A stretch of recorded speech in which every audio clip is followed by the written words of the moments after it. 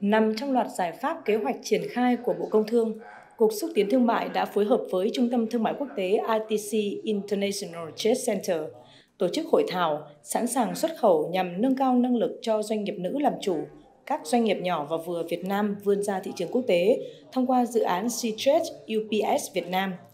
Dự án này ra đời nhằm mục tiêu nâng cao năng lực của các doanh nhân nữ, góp phần đưa các doanh nghiệp nữ làm chủ tham gia vào chuỗi giá trị toàn cầu.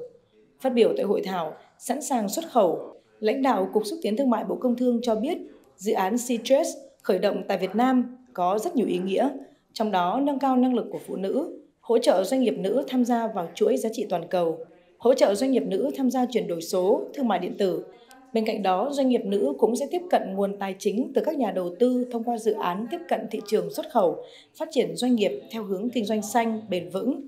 Đến hết năm 2025, dự án Citrus và công ty UPS Việt Nam kỳ vọng có ít nhất 2.000 doanh nghiệp cho nữ làm chủ, tiếp cận và chuyển đổi số thành công huấn luyện và tư vấn khả năng tiếp cận thị trường, tạo cơ hội đầu tư kinh doanh cho các doanh nghiệp theo chương trình dựa trên các hiệp định thương mại tự do mà Việt Nam đã ký kết.